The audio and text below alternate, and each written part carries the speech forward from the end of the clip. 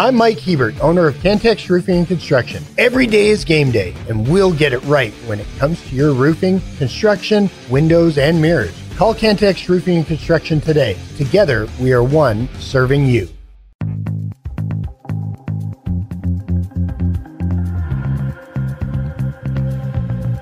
Podcast that finishes your workday in a very Red Raider way.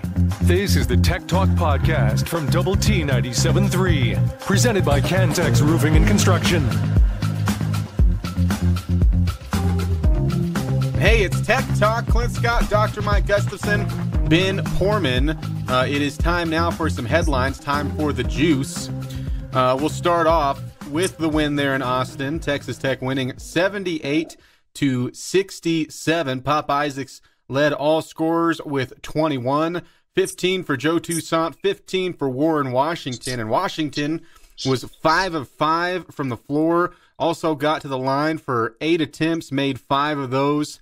Um, but even though, you know, some of the size things showed up against Texas that we talked about heading into the game that we were concerned about, like, you know, the, the rebounds didn't quite go your way, you beat them in everything else. And I think you showed why you can have some swings and some punches thrown in this league and hopefully be a tournament team. But uh, how about that for Grant McCasland's first Big 12 uh, game coached on the road against a, a, a, rival, probably in a place you won't be for at, in, a, in a very, very long time, or at least in the foreseeable future.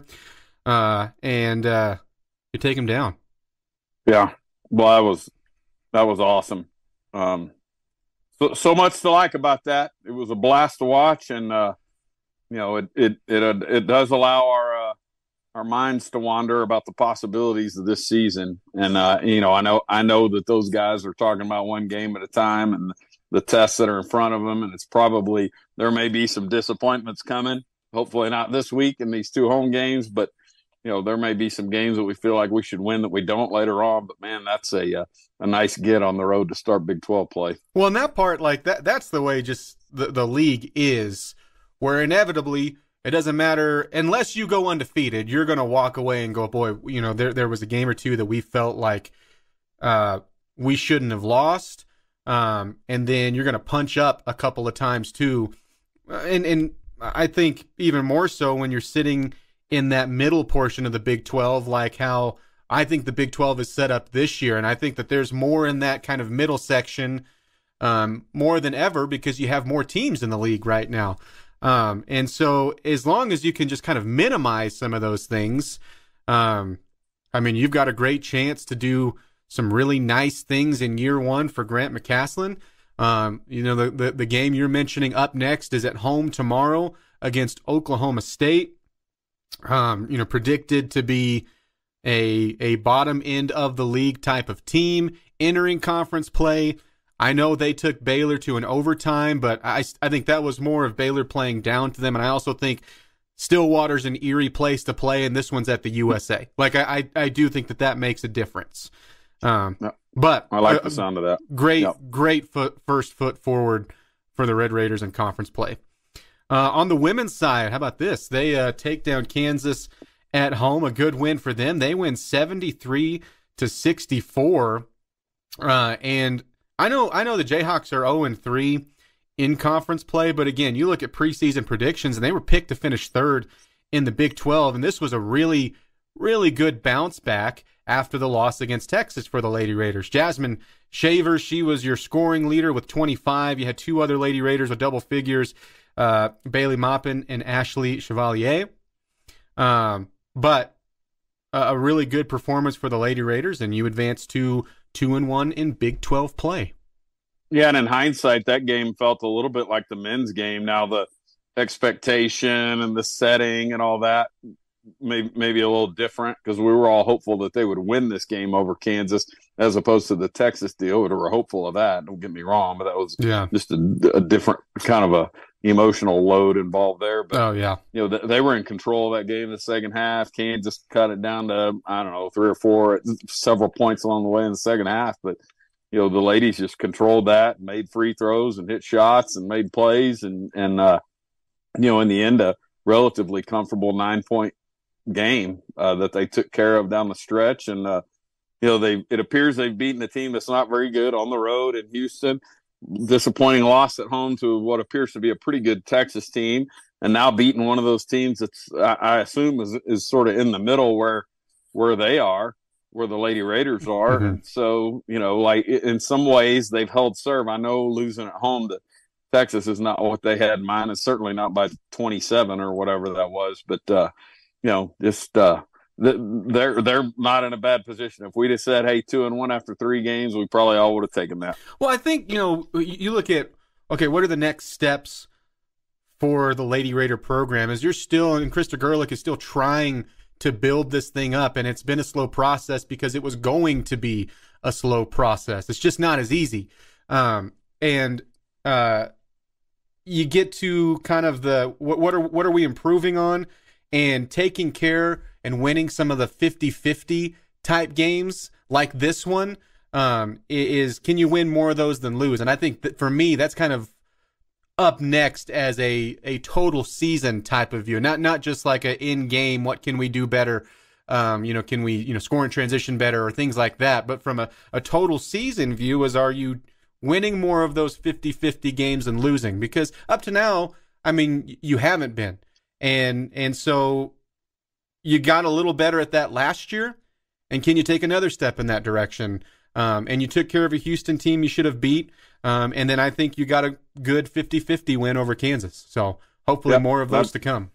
Yep, I agree. And, uh, and, and you think about it and just, you know, no matter what happens with them, it, it's a little bit painful knowing they've got a couple of injured players that were going to be you know, if not starters, key rotation pieces. So maybe that's a good thing as we look forward to next year. But it's a tough way to think about this team maybe being a, a player too short or maybe not as deep as they, they would have otherwise been.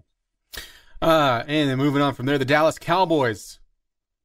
Boy, all the questions are they, you know, would they find a way to piddle away a game that they should win with as much riding on it as possible?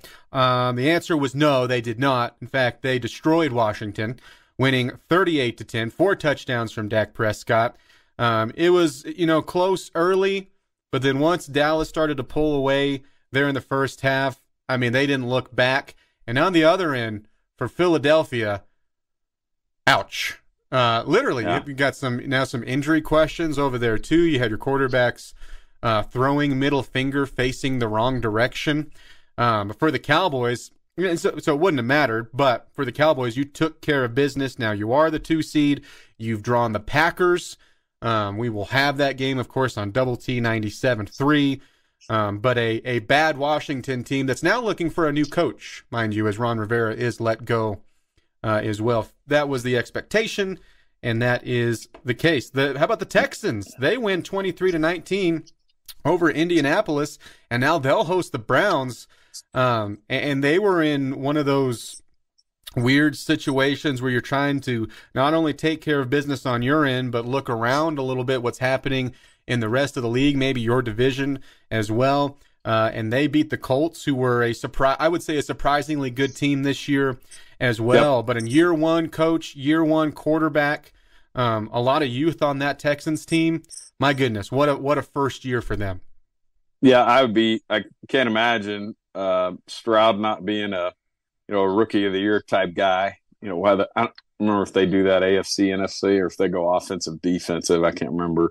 Um, but yeah, he he's got to be right there in the in the in the conversation for that. And uh, really contrast that with um, Bryce um, in in Carolina, oh, the one one pick last year at Alabama, and and uh, you know it's it's hard to you never know exactly what those things are in terms of is the supporting cast so bad that it's you know not helping him or whatever.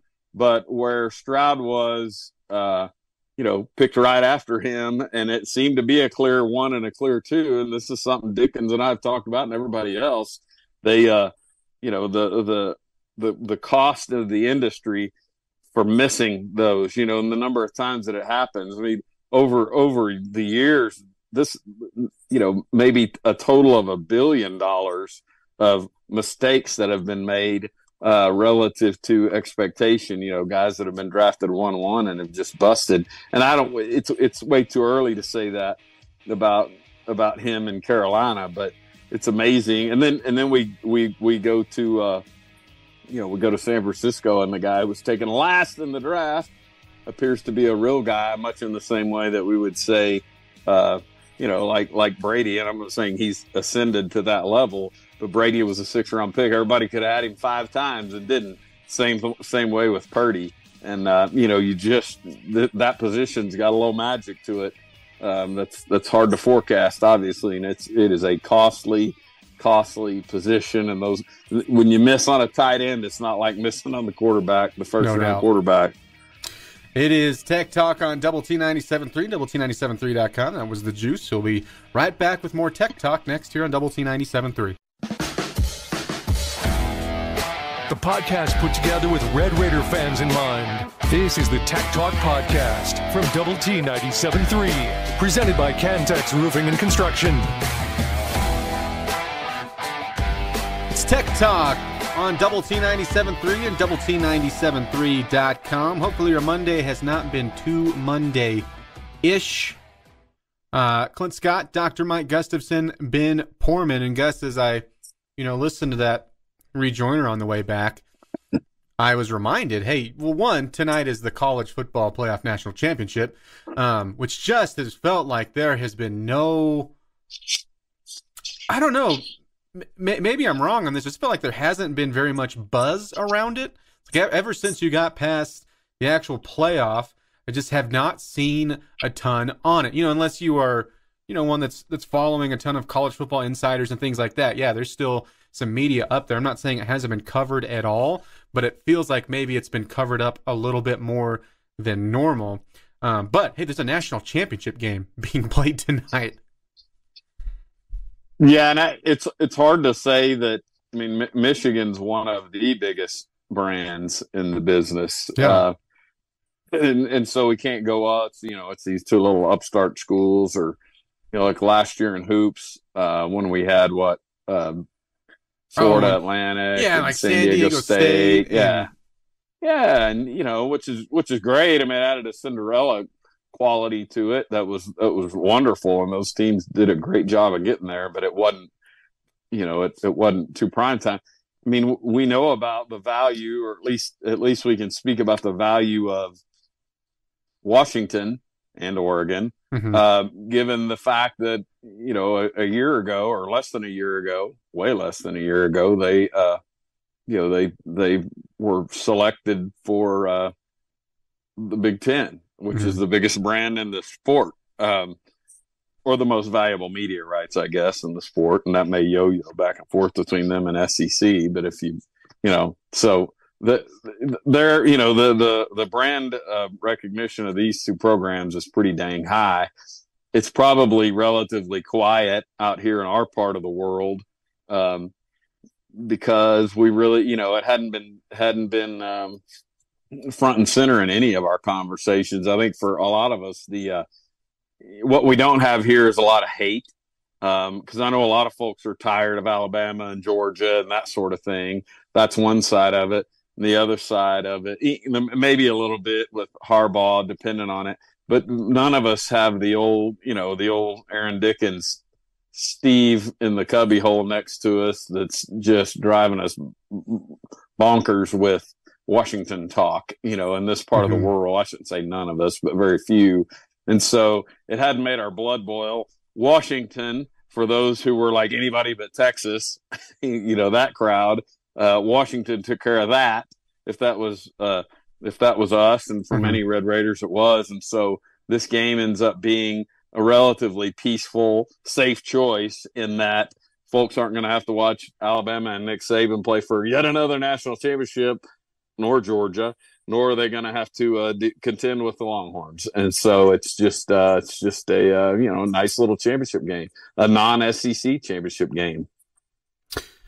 Uh, we got this on the Yates Flooring Center chat line from Tyler. Uh, national championship game could be played. Houston is currently in a tornado watch. Game will still likely go down, but lots of power outages here. Wow, Woof. I, I did I did see that that was going on in the with the weather, and uh, of course that's a dome stadium. Um, I'm right about that, right? Yeah, Mhm, it is. yeah. We're, um, yeah. Um, of course, the Red Raiders played in this stadium what a year ago, Yeah. 13 months ago. Yeah. So uh, we, we know about that place, and they've played in there other other times than just uh, um, that game, that bowl game last year. But yeah, this is uh, yeah. Ho- hopefully everybody down there is okay. But yeah, I saw um, oh, what's my guy's name? Dadgummit. I'm I'm going blank. My weather chaser guy that I Reed Timmer. Uh, Reed Timmer, you know, I follow him on Twitter and happened to glance earlier, and he was talking about this, like Lake Charles, Houston, all of that. You know, there's a chance, you know, tornado watch all through that region, so it is kind of an odd uh, weather situation for a uh, national championship football game. Did you ever be a storm chaser, or be like just just Oh. like a storm chasing ride along? I, I well, I, I would, uh, you know, supposedly there's some that do that give tours like that. Uh-huh. You know, like you can do a storm chaser tour, and I, I don't, I don't know. Was I, I've never looked into it, but I was going to say, that. what, what is mean, the what does the tour look like? Because it seems like if you were going to do a storm chasing tour, it's not really up to be like, hey, I, I booked this three months in advance because they they Right. know the spots that are going to happen. Like it has to be like, a, uh, hey, there's all this action over here in Southwest Oklahoma. You coming? like, oh, okay, sure. I guess I paid for it. Well, that's what I would think. I mean, I, I don't know how those things work because I'm pro like it's probably a whole lot less date specific than it is. Hey, if uh, you know you can you can hop in the van and do a little ride along for you know some some a few dollars or whatever. And then the next time we're in your you know we're in the Panhandle, we'll give you a call. You know that kind of thing. you can meet us at the you know at, at Chris Beard's McDonald's there and uh, in uh, in uh, Plainview and you know How do you jump think, in like, with in, us uh, or something. How do you think an office would handle like you? Hey, I I, I know I just took vacation last week, um, but I'm going to go ahead and have to drop everything because I've had this storm watching tour book, so I'm just going to head out. You cool? Okay, you're cool. All right, I'll see ya. You guys have a good day. Yeah, I uh, I would assume that's more of a. Uh, um, I, I mean, for me, I was thinking, you know, when I retire, that might be something I'd devote a little time to. I mean, I, just to go see one, but I'm not. I'm not interested in, you know, I'm I'm not interested in ducking tornadoes or anything. But I would I would uh, be interested in seeing some of that from a distance. Um, yeah, I would. Probably would not shock you to know from where I'm from that there was a lot of uh, let's call it amateur storm chasing uh, that Yeah. happened. Yeah, yeah. I uh when I was playing at Tech for Coach Ashby, and I need to sanitize this word um that he used, but this is probably springtime, maybe. What does it rhyme with? spring. Use the sounds like. I'm kicking, kicking. All right, and so uh we were out there practicing, and this is way this is 1986, and so this is way before. Um, you know, there's lightning 10 miles away. Everybody go inside. You waited until it like you know, like hit across the street, and then we all ran inside. And this one hit, I think, the architecture building, like which is the big, tall building, kind of over there toward 19th and Flint.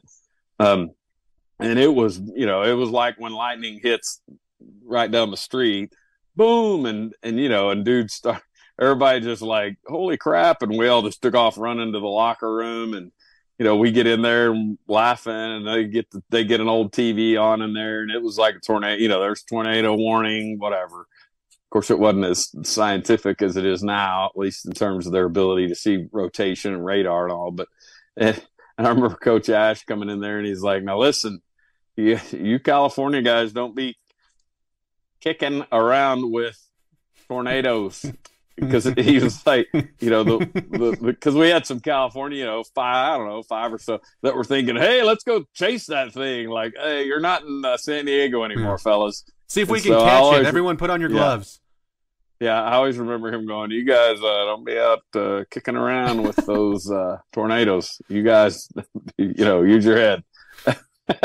and and I remember thinking, "Wow, like would people actually get in their car and go chase a tornado?" I guess the answer, Yes. Clint, Yes. Yeah, The answer forty is yes. years later, thirty-five years later, the answer is still yes. The answer is absolutely still yes. Uh, whether you were, I'll never forget um, riding around once. So is this is here's a little joke, a little perfect storm for you, where it was an intern at our church who was from Oklahoma and then was in our area that gets a lot of uh, tornado type weather, and he had the Sure. gear, or so he said. He was like, "Oh, I do this all the time." So there's like two of us in the youth group riding around with him, going to a town 40 minutes there from Mullinville, uh, and we're, we're we're chasing these swirls down in the sky, um, and we're in the middle of uh, we're in the middle of Jetmore, Kansas, going like, "We lost what we were chasing. Where is it?"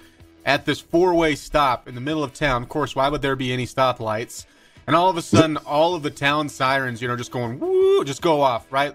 Just going loud, loud, loud. And we look up under the truck, and the swirl's like right up above the town, Oh, right above gosh. us. And I remember just looking. I was like a sophomore in high school, turning and looking, and he was like, "I thought you knew what you were blanking doing."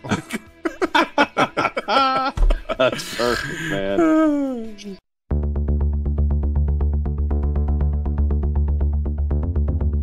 The podcast put together with Red Raider fans in mind. This is the Tech Talk Podcast from Double T 97.3, presented by Cantex Roofing and Construction.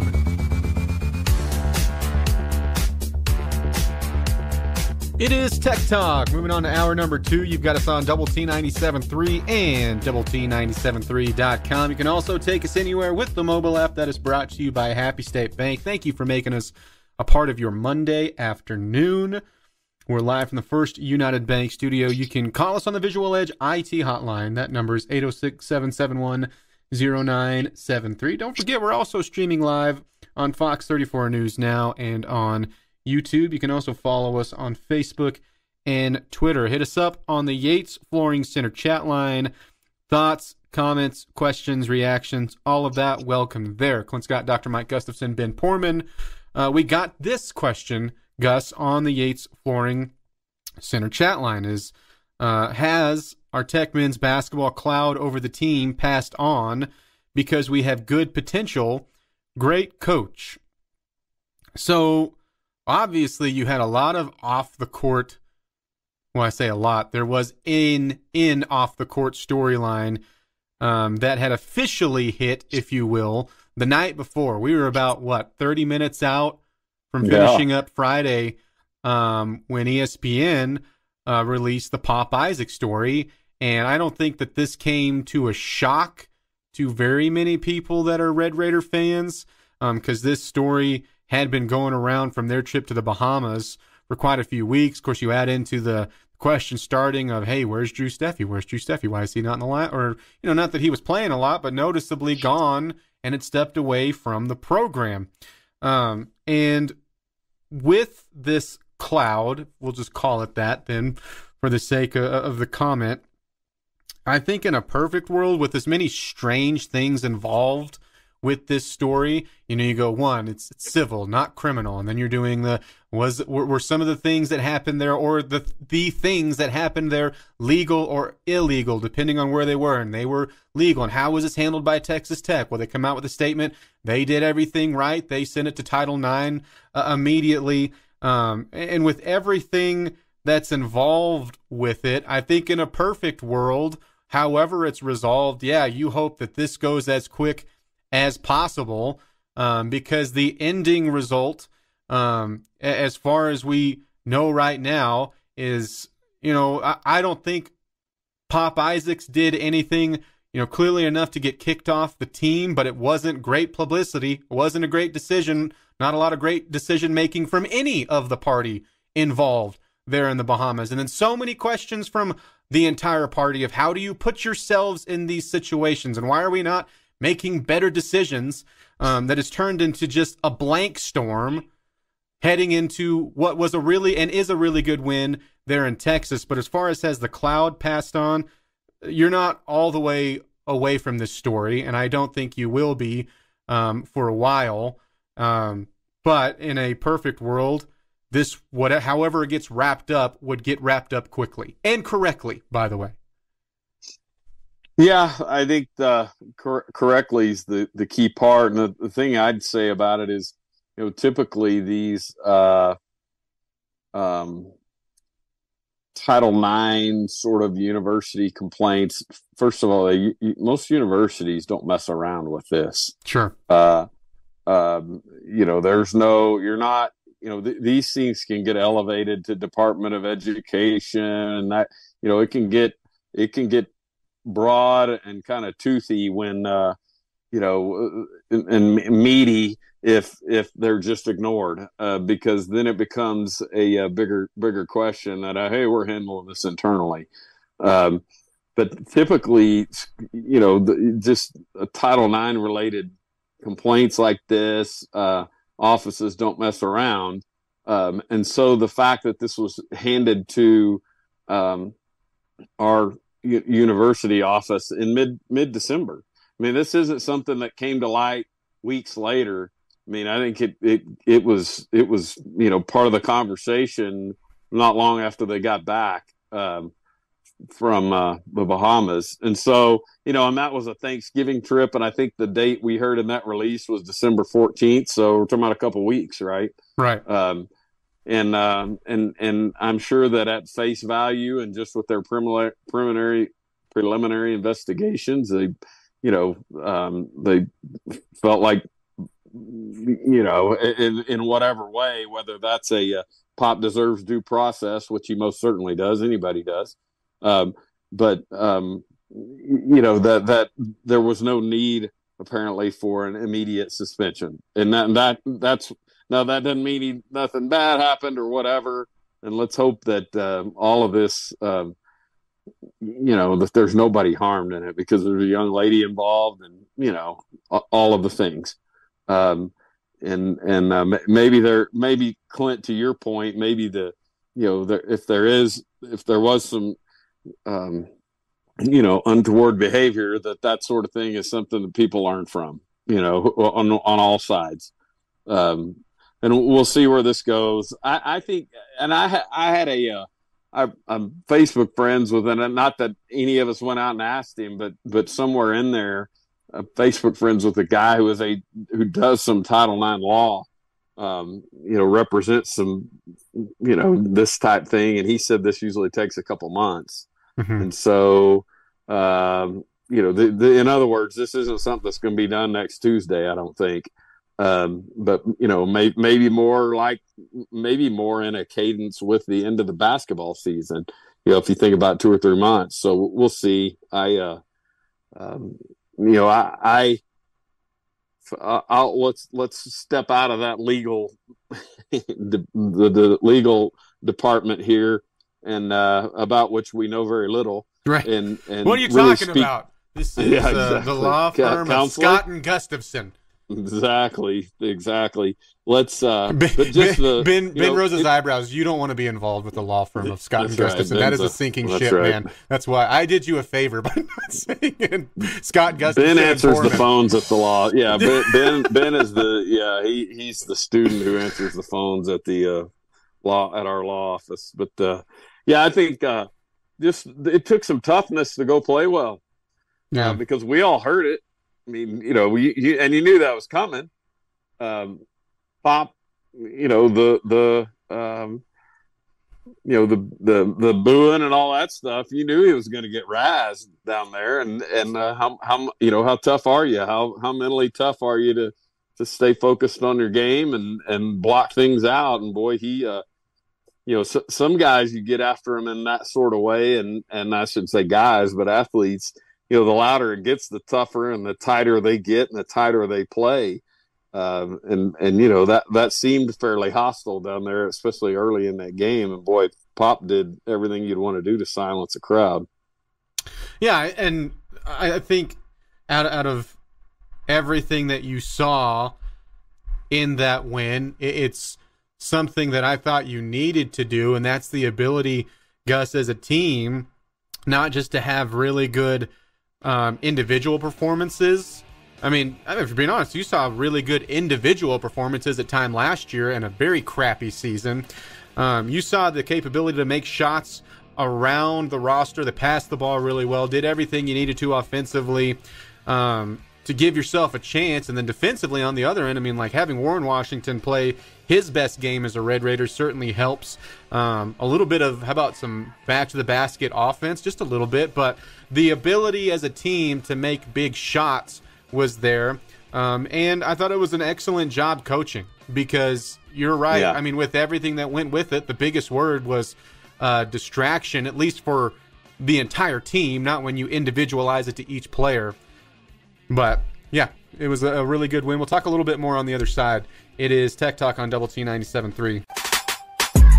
It's every Red Raiders' favorite podcast. This is the Tech Talk Podcast from Double T 97.3, presented by Cantex Roofing and Construction. It is Tech Talk here on Double T 97.3 and Double T97.3.com. Clint Scott, Dr. Mike Gustafson, Ben Poorman behind the glass. Gus, so those thoughts uh, on Tech's win over Texas.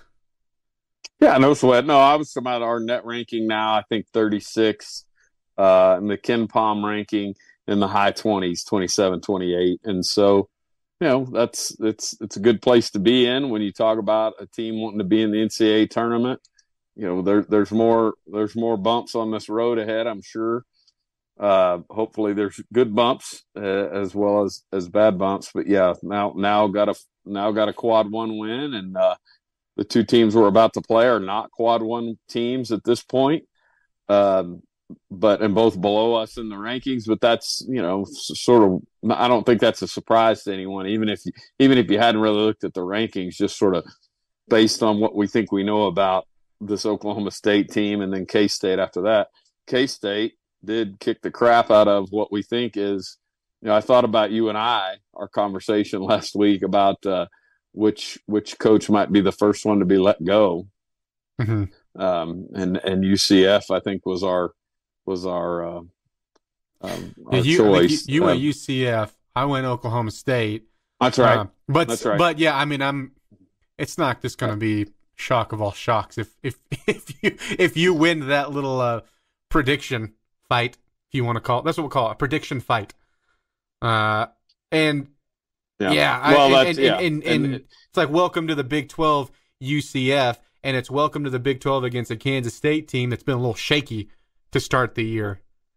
Right, and they went to they went to UCF, went to the Octagon and got thrashed, and uh, yeah, and the, the league was interesting this week, and I, you know, we that was the other thing you and I had talked about, and and um, you know, I remember telling you just how excited I I was in general for our game, certainly, but uh, for just the Big Twelve, you know, to see this start to play out with the, you know, a lot of the the the games you know that we've talked about and matchups and teams we've sort of wondered about.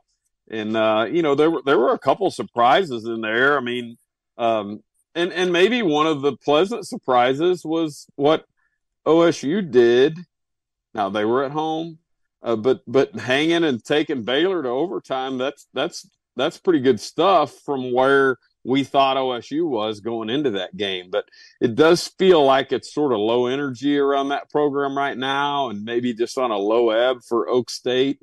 And um, you know, it's it's definitely a time to want to go get them and beat them and take care of them. Most certainly, love to beat them twice this year, but um, you know, you certainly take care of this game tomorrow night.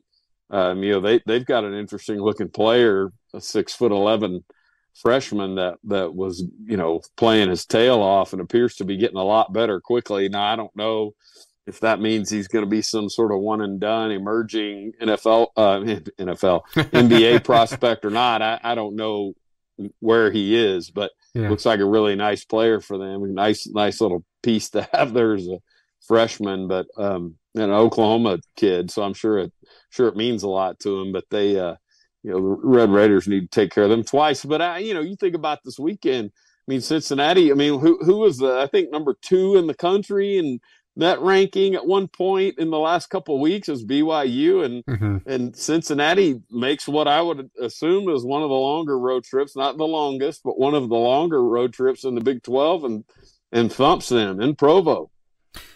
And so, you know, what are they?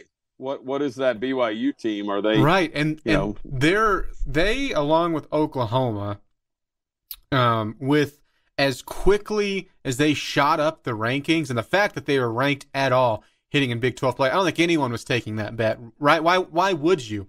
Um, and BYU's offense has just been so good. I mean, averaging right at ninety points a game, and they've they've got some solid wins in there. Um, I mean, we talk about the quad one wins. They had a quad one win uh, coming in. There wasn't just a ton of Big 12 teams that could say that. Um, and then had been perfect, you know, uh, clearly from quad two all the way down.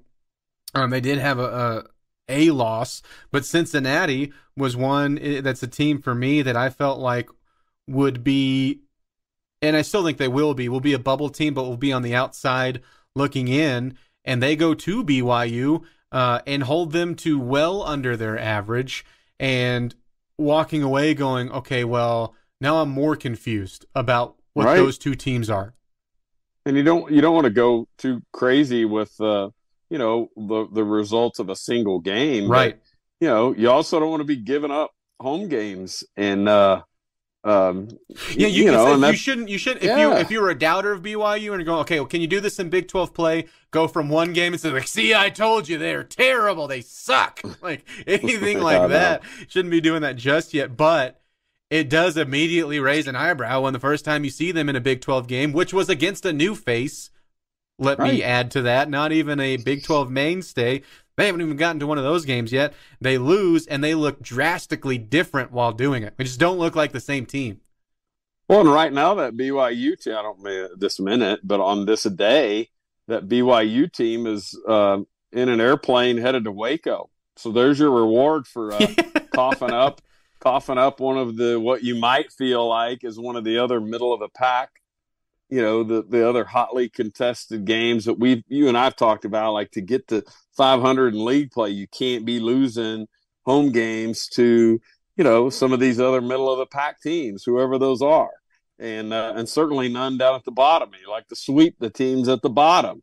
And uh, I don't know that you know I, if you're BYU that you know that feels like it's a big opportunity missed. And uh, you know maybe they go down to Waco and beat Baylor tomorrow. Seems unlikely, but uh, you know, and and maybe they can look up and go, okay, we're one and one after two games, which is exactly where we thought we'd be, but it just went the wrong direction. But uh, it would certainly represent a uh, high end win if they can do that in Baylor tomorrow. But if not, then you know, are there going to be question marks swirling? And I don't mean like swirling around the big picture existence of that program, but just about this particular team and. Uh, you know, maybe maybe some of that early stuff, early success with some paper tiger kind of stuff.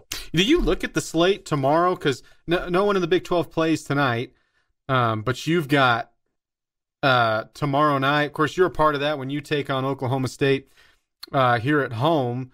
You've got four other Big Twelve games, and one of those is now second ranked Houston that jumps up to number two. Just you know, leapfrogs Kansas, which you know kind of makes sense because Houston has looked like the better team. I don't think they've played as good of a slate, but they go to Ames. And yeah. and that's a that's a good Iowa State team, not a great Iowa State team, but this is we talk about okay, Houston, uh, the conference you were in, of course you were running through it, and, and they're they're you know they're under the uh, or apply to the same questions that you asked uh, about BYU, Cincinnati, and UCF, but more so to Houston because they've been so good and had you know so much recent success. Can you do this in Big 12 environments? Uh, and, and, this is one of those that gets you know as, as, good as it gets with Ames. When you add in that they're also a good team and the the Hilton Magic thing is real and they're a well coached team, so you're going to see how they handle that in game number two of conference play. Yeah, I think really, that's incredibly absolutely. interesting. Sure, and it, and it really is one of the interesting venues because you know Houston and Baylor, Houston and Kansas. You know, I don't think there's any question that those teams are, uh, you know, right there at the very tippy top of the league. By the way, we haven't even got to TCU yet. Very impressive performance by them. Mm-hmm. Uh, on Saturday. We can talk about that in a minute. But but yeah, when you think about all right, what's it going to be like when they go to Iowa State? Because nobody in that league that they played in was like what they're going to deal with there. Mm-hmm. Maybe nobody, yeah, and maybe nobody in in the in their league was like what they'll deal with here in Lubbock. That'll be an interesting matchup. Yeah, um, you know when when it happens because there's, yeah, I mean that that's that's gonna have some teeth and you know going to draw some people and there's you know enough enough people like me that competed against them. And remember those days and seeing Hakeem Olajuwon and Clyde Drexler and those guys over at the Coliseum. But then fast you know go go forward and a lot of us remember Kelvin Sampson. And so you know that that game's not going to be a low energy crowd I wouldn't think. And so this will be a uh, that'll be a really fun fun game to see if the, if Houston goes in there and takes them by ten and just ices that crowd, then Hmm. we we're going to be impressed by that group. Which I think could happen. I'm not saying it's going to be impossible Yeah. for Houston, but it certainly helps that you've got a coach that's been in the Big 12 before, and then even their best, you know, again in the in the strange world that we live in now, their best player in LJ Cryer. I mean, he's certainly Right. used to Big 12 play. But uh, uh, we'll get Exactly. into some of your thoughts and comments off the Yates Flooring Center chat line. Get a pushback play of the day next. It's Tech Talk on Double T 97.3. It's every Red Raiders favorite podcast. This is the Tech Talk Podcast from Double T 97.3. Presented by Cantex Roofing and Construction. It is Tech Talk here on Double T 97.3 and Double T97.3.com. Clint Scott, Dr. Mike Gustafson, Ben Porman behind the glass. The Cowboys. They'll take a look back at their dominant win, of course, over Washington, and now the playoff field uh, that lies ahead. Uh, and Gus, I mean, if you're the Cowboys, you've set yourself up for the conversation we had on Friday going into it, and that's now. I mean, you have you know the the home field advantage that you need at least until what looks like the San Francisco wall unless something were to happen on that side of the playoff bracket you have set yourself up where you need to be in the NFC championship game at least um because if it's you know if it's not this year then when's it going to be Yeah, I agree. And and I know there's a lot of conversation just around, you know, has McCarthy kept his job yet or whatever. And and I, uh, you know, that seems like it's a bit much. It, it feels like when that conversation comes up, folks are hanging on to a, uh, you know, reaching all the way back into last year to to to really grab to the essence of that conversation. All that said, though, a home loss to the Packers this weekend would probably uh, you know ratchet up that heat again. Um, you- Yeah. you, know, I mean, McCarthy's a Super Bowl winning quarterback uh, coach, and you know has done a pretty dang good job. It, it certainly feels like, and that that's in light of him taking over play calling. I mean, so s- sometimes when you see um, coaches switching around major managerial roles like that, it doesn't work. Um, and he's he's handled it, and uh, you know it feels like they've done a really good job of engineering things for Dak and just the success they're having, and you know, I, I but all that said, I mean, you never know what level of desperation there is in the front office. Um, you know, I, I wouldn't be surprised to see the Cowboys in the Super Bowl, though. And and I'm not saying that as a guy who loves them, but I just, um, you know, that that's a dangerous club and a talented roster, and uh, you know, I'll be surprised if they're not in the NFC Championship game. I really won't.